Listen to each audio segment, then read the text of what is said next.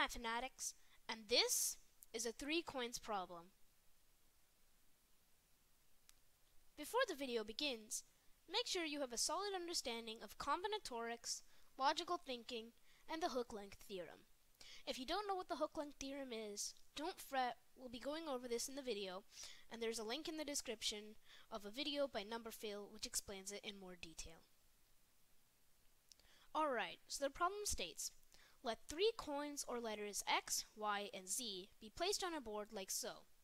Your goal is to move these to this position. You can only move X, Y, and Z through legal moves. A legal move consists of moving a letter or a coin one space to the right, if and only if that space is empty. So all of these are legal moves. However, let's say you wanted to move y one space to the right. You would not be able to do so as z would be in the way. You cannot also override like shown here. Finally, you may not move backwards. Can you figure it out? Pause the video now and try this out yourself.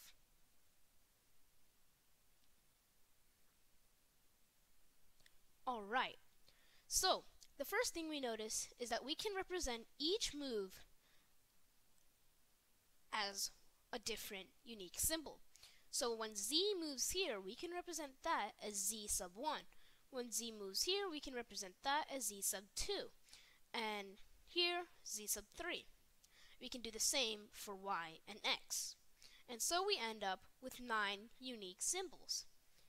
Now, a way that we can move x, y, and z to their corresponding places would be equivalent to one unique rotation, or rather permutation, of these nine symbols.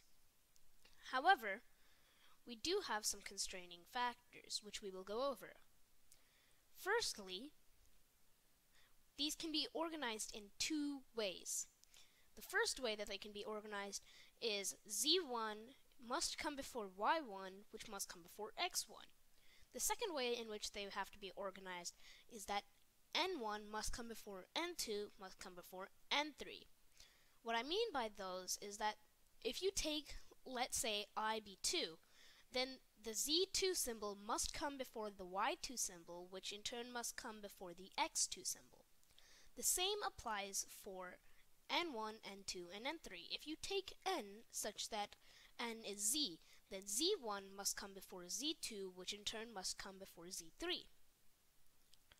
This means that we have two dimensions of organization, and this gets us from our 1 by 9 row to our 3 by 3 square.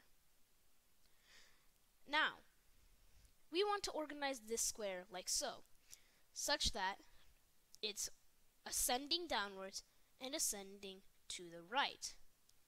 And this takes us to the hook length theorem. The hook length theorem states that if you have, say, nine integers in this square, then they can be arranged in a specific amount of ways. The hook length theorem is actually a little bit more specific than that. The hook length theorem states that if you have a closed figure of squares like so and you want to arrange some numbers in them such that they are ascending downwards and to the right. Then you take each square and apply the hook length to them. You find their hook length. So let's take this square for an example. We need to find the hook length of this. Well what exactly is the hook length? The hook length is simply the amount of squares to the right, so that would be 1, plus the amount of squares below it, that would also be 1, plus the square itself, which would be 1. So there would be 3 total in this square. Let's take an example. We have this. Let's try and find the values of the hook lengths of each cell. We know that this cell has a hook length of 1, this one has a hook length of 1, and this one has a hook length of 1. Let's try and find this cell.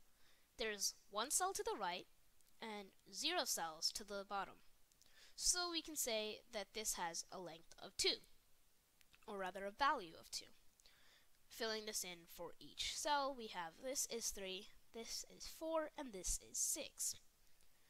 The next part of the theorem states that you must take the product of all of these and you must divide that from the number of total cells factorial. So what do I mean? In this example, there are 7 cells total. So we will take 7 factorial and divide that by 6 times 4 times 3 times 2 times 1 times 1 times 1. Now let's expand the 7 factorial out.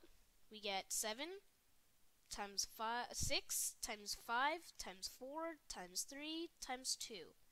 Now we can cancel the 6's, the 4, the 3, and the 2's, and we end up with 7 times 5. 7 times 5 is 35, and thus 35 is the answer for this closed figure. So now we return back to our original figure. I filled in some of the hook lengths for you.